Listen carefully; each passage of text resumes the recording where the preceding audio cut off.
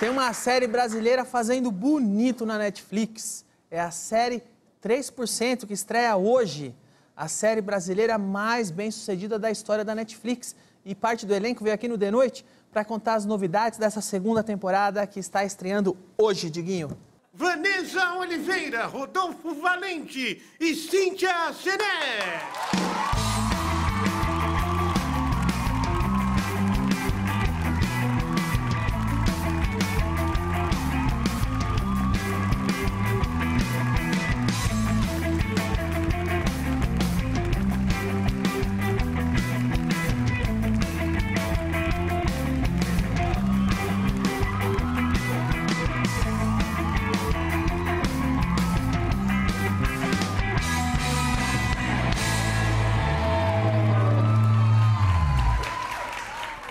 Vanessa. Eu falo Vanessa ou Vanessa? Não, Vanessa mesmo. Vanessa mesmo.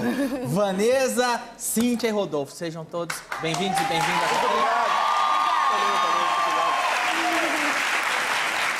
Vocês fazem parte da série, talvez uma das séries mais bem-sucedidas, é, séries brasile- brasileiras no Netflix, 3%, não é? Sim, sim. Ah, se por acaso alguém em casa não viu ainda, fique sabendo que já está indo para a segunda temporada.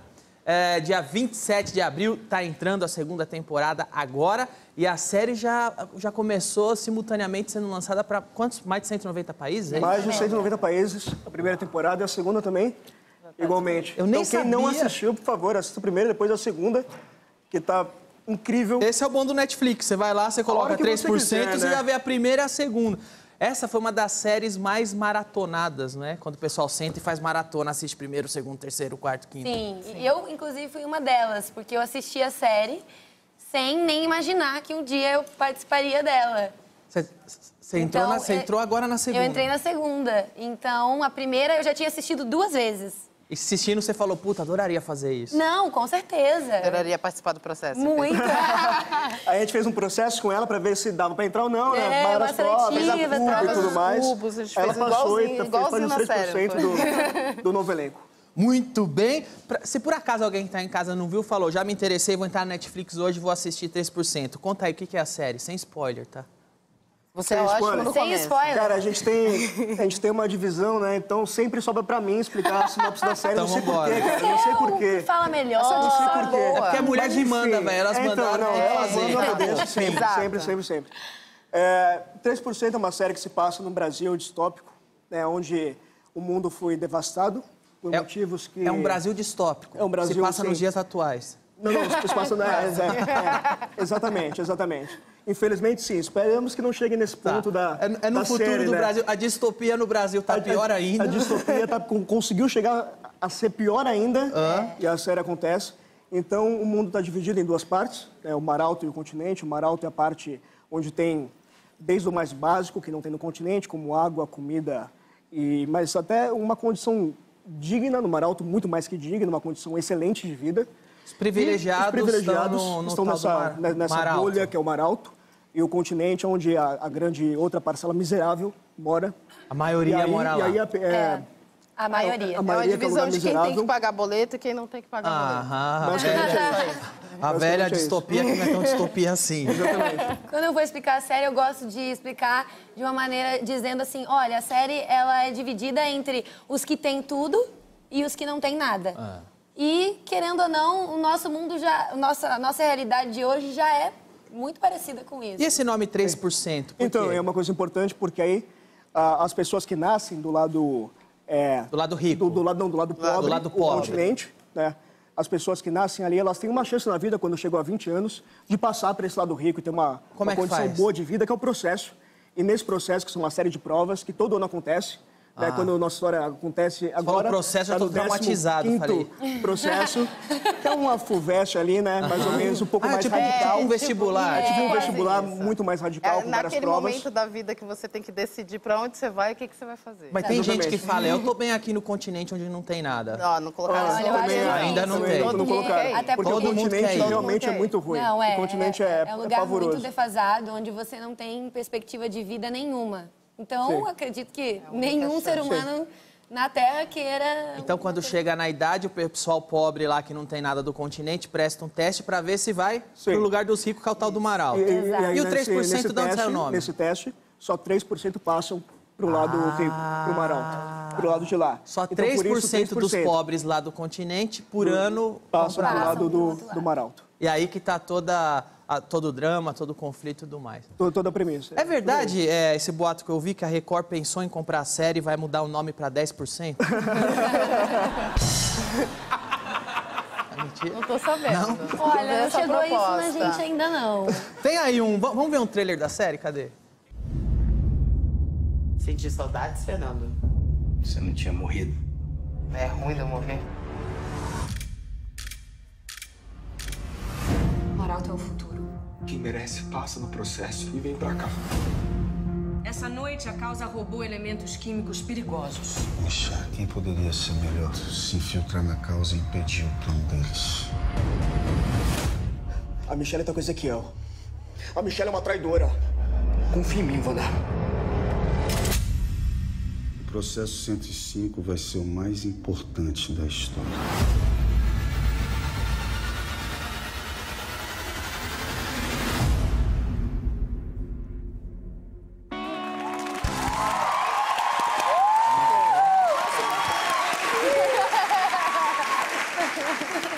Vocês sentem pessoas privilegiadas? Porque eu acredito que muitos atores queriam estar nessa série, mas só 3% da classe artística consegue fazer parte disso. Assim como só 3% do elenco veio hoje. Exatamente. Qual foi o qual processo é mais difícil? Processo para entrar na série ou processo da série para ir para Maralto? Ó, eu acho que Olha. o processo a, a- que a, a gente, o processo para entrar na série envolve um monte de coisa da É. gente como, como pessoa Eu que não também tem como a gente não, não sei, a gente, né, quando a gente eu vi, eu soube da série pelo Facebook, na verdade, uma postagem que teria os testes para fazer a série. E eu mandei material, ficou um mês, demorou um mês, dois meses, não lembro, mas um tempão, e eu não fui chamado para fazer o primeiro teste. E eu fiquei muito triste, vários amigos foram chamados. E depois de muito tempo, eu fui no último dia do primeiro teste, assim, geral. Do callback. Do, do- não, do primeiro, primeiro mesmo ali. O primeirão. E aí Você o fez primeirão, junto com a o primeirão. gente? E aí Vocês eu fizeram o fiz... teste juntos? Fizemos junto. É, foi, foi um antes daquele. A gente fez juntos. um Quando antes você olhou daquele. para ele, você falou: esse cara, vai- esse cara não vai passar, não. Você achou, não, esse cara acho que vai passar. Ah, não, com o certeza. pior é que a gente, quando a gente fé, tava né? fazendo teste, é, dentro do, do processo de teste, tinha também algumas brincadeiras, alguns jogos. E a gente foi jogar dominó. Ah. E ele tava roubando no meio do, do Mas do- era o personagem, teste. cara. Ah, Era o personagem. Exato. Por isso que eu ele passei, passou. já era o personagem. É perfeito pro personagem. É, ele ia dar um jeito de passar de qualquer Sim, maneira. sim. E aí, eu acho que foram seis testes e... E, cara, é um sonho, né? Tá fazendo parte disso, porque poucas vezes a gente faz Seis um trabalho como testes é ator. bastante. Ou mais, seis, sete, Não, nem lembro, mas foram muitos fiz- testes. é, Vanessa, não, foram eu fiz por aí. quatro. Eu fiz quatro. Quatro? É. Me acharam no Facebook pra fazer os E testes. você, fez quantos? Cara, eu não lembro direito, mas foi entre 7 e 8 vezes. Você fez em quatro, você ganhou. Te acharam no Facebook? Me acharam no Facebook, me chamaram, falaram, ah, a gente vai fazer um teste para uma série para Netflix. Eu não assistia Netflix, não sabia o que era Netflix, gente, porque eu sou uma velha da internet. E aí, e aí eu fui e fiz o teste. A gente foi fazendo, fez o primeiro teste com Charlone, com a Daina Giannichini, que é uma das diretoras da série.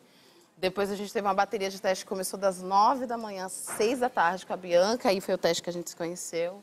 Ia mudando, o personagem ia Foi ali fazendo. que ele começou a roubar no, no- no Sim. dominó Não, ali. Foi ali, foi ali. Foi ali. Foi. Vamos ver, tem um trechinho pra gente exemplificar como é o teste dos personagens que eles fazem pra tentar ingressar no mundo do Maralto, que é o mundo dos ricos. Tem aí um trechinho? Cadê?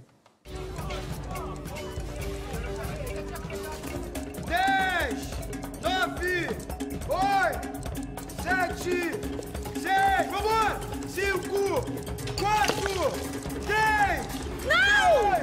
2, 1, tempo esgotado, parou! Não, não, não, não, não. Olha o que você fez! Não acredito nisso!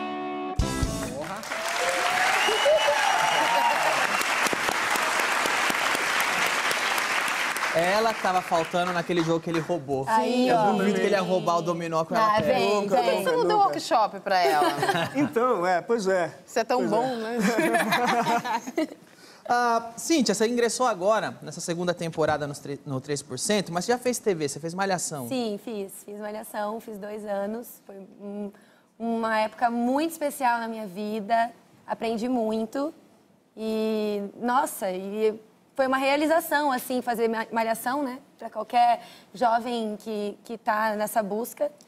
E 3% veio logo depois, semanas depois, surgiu o teste. Acabou, acabou a malhação, o último episódio. Duas semanas depois foi o primeiro teste da Netflix. E aí começou uma nova batalha, uma nova busca. E foi sensacional, assim, um, um trabalho já engatado do- atrás do outro. Por que, que você que fez Malhação deu tão certo e o Murilo fez Malhação terminou aqui? Tem ideia? Não faço ideia. Não faço ideia. Talvez ele não tenha visto o teste da 3% no Facebook, né? Olha Pode só o vagabundo Murilo, mesmo. vacilou, cara. Vamos fazer o seguinte, quero voltar, quero saber mais da carreira pessoal da Vanessa, do Rodolfo, saber mais da série, mas a gente precisa fazer um rápido intervalo, voltamos já já, não sai daí.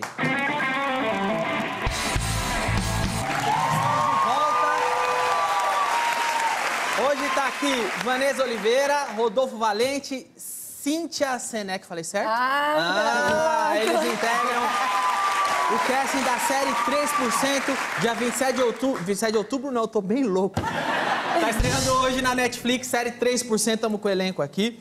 A série 3%, é, quantos episódios vão estar no ar agora, nessa segunda primeira temporada? temporada. É, a primeira tem oito episódios. A segunda tem 10. A primeira teve? Oito. Oito, a Oito segunda episódios, 10. isso. Sinal que o Netflix gostou, né? Cresceu, isso mesmo. Vanessa, seu personagem, qual que é o personagem, o que, que ele faz na história? Qual é o seu personagem? A Joana, na primeira temporada, ela, ela entra no processo não querendo, não, não que não querendo, mas não se importando tanto em passar, sabe? E aí, é, no, no decorrer da trama, ela vai mudando um pouco a visão dela sobre as coisas. E também, assim como os outros personagens, vai, vai ter- desejando participar do Mar Alto e ter essa vida melhor, né? É. O seu personagem, Rodolfo? Cara, o meu personagem, na verdade, quando começa a primeira temporada, a gente descobre, isso não é spoiler, porque, quer dizer, espero, falei mal de spoiler agora, gente. É, é agora? spoiler não é, não é, né, Vanessa? Não é. Da primeira temporada não é. Então, ele, Não, ele, ele, é. ele já prestou uma vez, a- a- ali o processo não passou, né, no processo, e aí ele, ele tem um ideal, né, ele, ele faz parte da causa, A causa Assim, seria? Então, a causa é uma... uma é um A movimento rebelde. revolucionário. É, são os revolucionários do continente que tentam, de alguma forma, destruir essa, essa divisão entre, entre Maralto e, e continente. Deixar porque o Maralto as propriedades- acessível pra todo É que, na mundo. verdade, o continente realmente fosse... é, a- as, as propriedades, a comida e, e tudo, as, as riquezas, são do, do povo, então tem que ser divididas por todos, não só pelos 3%. É injusto 97 morrendo de fome e na miséria, enquanto 3% ah, estão lá no luxo, o que na verdade é muito otimista, né? Porque no nosso mundo é nem 3%, né? Muito menos. Essa riqueza está dividida em muito menos pessoas. En- Então, é, é basicamente uma, uma organização que tenta destruir Seu essa... personagem é da causa. Meu personagem é da causa. Ele é da per- causa e ele não passou a primeira vez, ele rouba o chip do irmão para tentar passar de novo, enganar o processo. Igual você fez um dominó. É, é, Você vê? Por isso que ele ganhou. E a Cíntia, qual é o personagem? Então, minha personagem é a Glória, ela entra na segunda temporada. É, ela é muito crente no processo, o que ela mais quer na vida dela é passar no processo, é ir para o Mar Alto. Só que assim como qualquer ser humano, ela também tem as suas dificuldades internas e os seus problemas internos. Então, é, não vou dar um spoiler. Sem spoilers, aqui, por favor. Não é de Mas Deus. ela vai ter que enfrentar o maior inimigo dela, vai ser ela mesma. E o melhor amigo, que é o Fernando, que é o personagem que já existe na primeira temporada. Tá. O Fernando é o melhor amigo dela e o Fernando não crê mais no processo. Então a única pessoa que ela tem na Que vida pode ajudar. que pode ajudar é o melhor amigo e o melhor amigo Pensa diferente dela. é, pensa tá pensando diferente. e tentando a todo momento fazer com que ela mude de ideia. Entendi. E aí... Queridos, O que é isso, gente? uma dúvida só. O pessoal dos Maraltos, os mais ricos, parecem comigo? Não precisa responder. Gente, que figura é essa? Também não sei, me pergunta até hoje. É. Tô me perguntando até Deus, que hoje. susto. Parece aquele negócio, como é que era aquele programa aqui? Aqui no, no, no Silvio mesmo, que aquele... Você troca um carro por, uma, por um lápis? Sim! É, ele- ele parece um carro, Não, né? parece... Eu sou o quem humano brasileiro. Ô, ô, ô, Vanessa, Sim, mano, Brasil. ah, a série, eh, como a gente começou falando aqui, já foi, foi lançada simultaneamente para 190 países. Imagino que você tenha muito fã importado de outro país, não? Sim. Quando você viaja, o pessoal te reconhece? Então, eu fui pra Nova York agora, a galera reconheceu. Los causa da Angeles série. também. Eles vieram perguntar, vieram me chamar de Joana, né? Joanne! Foi muito Pois é. legal. Não, E o Ucrânia me mandou mensagem 24 horas depois que lançou Você entendeu o que eles escreveram? Eles falaram I love you, já... Ah, então já ajuda, já ajuda. Que demais. Foi muito legal. Eles também te acharam no Facebook, não foi só... Foi. Eles Não, acharam. mas sabe, Danilo, uma coisa que é muito gritante é a diferença do Brasil para os Estados Unidos. Eu tô, eu tô morando lá agora, estou estudando inglês em Nova York, e quando eu falo a, a, a palavra, a, a- a no- o nome da série, 3%, as pessoas se movem, fazem um grupo e 3%? Ti- Tira uma foto comigo agora. Eles gostam Eles mesmo. gostam Eles muito, gostam eles muito. são É muito- muito é, fãs que mesmo. legal. E eu fico assim, caraca, tem um americano querendo tirar foto comigo. O que tá acontecendo? Como, como que você fala? Quando- quando- quando- 3%? É, 3%. 3%. 3%. Eu ia falar quando eu fui para Osasco, também me reconheceram lá. E Meu namorado de Osasco, posso ir a Osasco? Eu nunca fui pra ir Osasco, lá? meu sonho. É muito legal. não. Eu não- eu não Aliás, fui- em não Osasco vim você pra- é conhecido pra porque você já fez carinha de anjo aqui, né? Já fiz, já fiz, já fiz. Uma participaçãozinha, mas foi muito Mas a legal. primeira- Aliás, a primeira novela que eu fiz na vida foi aqui no SBT, em 2004, eu acho, chamava Seus Olhos, a novela. Aqueles mexicanos que traziam aqui, faziam uma adaptação da novela. Foi a primeira novela que eu fiz. Eu Quando você uns gravou 11 anos, eu acho. 3%, você estava fazendo a novela aqui, não? Foi, foi simultâneo? Eu acho que foi antes, Foi se eu não me engano. né? Foi antes do, do 3%. Primeiro foi o Carinha, depois o 3%, eu acho. Tem você em carinha de anjo aqui, cadê? Entende agora quando dizem, e aí, vai se enforcar mesmo? É por conta da gravata. Olha, é a melhor explicação que já me deram sobre isso. Deixa comigo. Tudo isso aqui é uma questão de prática. Obrigado, Gustavo. Você sempre me ajudando, né? Se não fosse você e a sua família, nada disso estaria acontecendo. Bendito seja o carro da Estefânia atolado aquele dia. Bendita seja a Dulce Maria. Mas pra mim é uma honra poder ajudar vocês dois.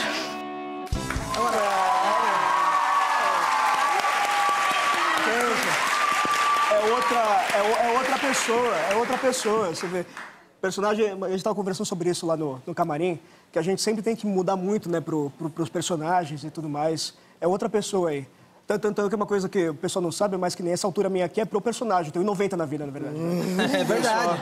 É verdade Ali ele mesmo. só tava fazendo papel de hobbit, não é isso? É exatamente isso, exatamente isso. Vocês sabiam que ele já foi bebê Johnson? Já. Eu fiquei sabendo agora, Gente, mas-.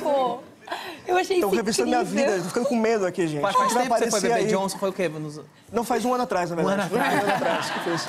Vocês já viram ele? A gente, a gente brincava que quando ele era criança, É. desse, dar chupeta pra criança parar de chorar, ele ligava a câmera. Ah, ele parava. Vocês, vocês já viram ele de bebê Johnson? Uma Não. foto dele? Não. Tem aqui, vamos ver aí. Cadê o Rodolfo bebê Johnson? Olha aí.